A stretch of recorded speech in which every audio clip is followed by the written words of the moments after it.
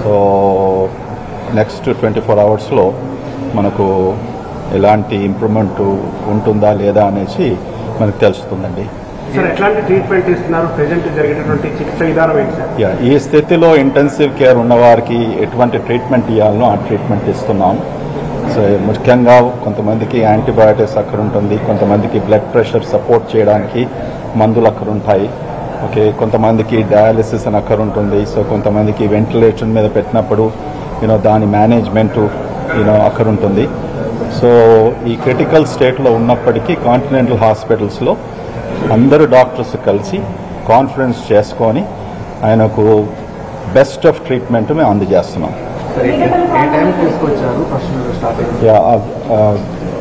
రాత్రి మధ్యరాత్రి somewhere around two రెండు గంటలకు తీసుకొచ్చారు మధ్యరాత్రి.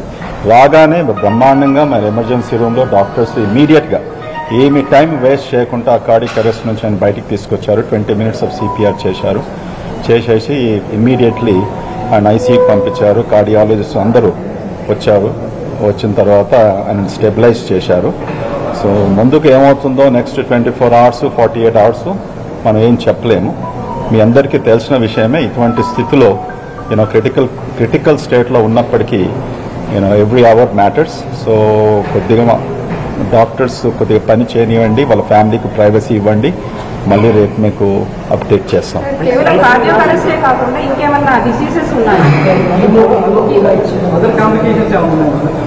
ఇప్పుడు సి పేషెంట్కు కార్డియక్ అరెస్ట్ వచ్చినప్పటికీ నేను యా కార్డియక్ అరెస్ట్ ఉన్నప్పటికీ ఎన్నో యూనో ప్రాబ్లమ్స్ వస్తుంటాయి. So I think patient privacy చూస్తూ ఇప్పుడు ఈ ఫోరంలో అని మేము చెప్పలేము. So the most important thing మీకు మీకు అందజేయాల్సిన విషయం ఏంటంటే ఆయన క్రిటికల్ స్టేట్లో ఉన్నాడు. ఏం చేయాలనో అన్నీ సమకూర్చుకొని ఆయనకు ఆయనకు సేవ అంటే అందించేస్తాం ఇప్పుడు ప్రస్తుతం ఐసీయూ ఉందా? వెంటిలేటర్ వెంటిలేటర్లో ఉన్నాడు. Yes is on ventilator okay అంటే సార్ ఇప్పుడు చాలా మంది అభిమానులు రాష్ట్ర వ్యాప్తంగా కూడా ఒకటే ఆందోళన ఉంది కాబట్టి నెక్స్ట్ హెల్త్ బులెటిన్ సార్. అంటే ఈ మధ్య నెక్స్ట్ హెల్త్ బులెటిన్ ఒక ట్వంటీ ఫోర్ అవర్స్ ఇవ్వండి రేపు ఇదే టైంకు ఓకే ఇదే టైంకు మనం ఇస్తాం లేకుండా మార్పు వస్తాయి okay there is a norms change వచ్చినప్పటికీ అప్పుడు ఏదైనా విషయం అందజేయాలంటే we will inform you will do it much earlier then twenty four hours Krishna garu మా హాస్పిటల్ సుమారుగా తొమ్మిది ఏళ్ళ నుంచి యూజ్ చేస్తున్నాడు. వాళ్ళకు మా హాస్పిటల్ అంటే చాలా నమ్మకమే కాకుండా ఇక్కడ డాక్టర్స్ అందరూ వాళ్ళకి నచ్చారు. కనుక వాళ్ళ ఫ్యామిలీ వాళ్ళ ఫ్యామిలీ అందరూ కూడా కాంటినెంటల్ హాస్పిటల్నే వాళ్ళ చికిత్స జరుగుతున్నది. సో అందుకరికే వాళ్ళ వాళ్ళకి హాస్పిటల్ పరిచయము మా డాక్టర్స్ అందరు కూడా పరిచయము. సో ఈ ఆయన ఈ మధ్యలో చూడలేదు. ఈ మధ్యలో వెంటిలేటర్ మీద పెట్టిన పెట్టినప్పటికి ఎవరు స్క్రోలో ఉంటుంది కదా. వాళ్ళని సెడేట్ చేస్తాం కదా. ఆయనకి ఏమి నొప్పి లేకుండా ఏం లేకుండా. కావడానికి కొన్ని రీజన్స్ అనేవి ఉంటాయి కాబట్టి మీరు పర్టికులర్గా ఈ ఇప్పుడు ఇంత ఇది అవ్వడానికి దాని పట్ల ఏముంది అని అంటారు? అంటే ఏమైనా హెల్త్ ఇష్యూస్ కారణంగా లేదంటే ఇటీవల కాలంలో ఇందిరాదేవి గారు ఇట్లా చనిపోయారు కాబట్టి అదేమన్నా బాధ లాంటివి అంటే ఫ్యామిలీ మీతో ఏం చెప్తున్నారు ఈ విషయం మీద?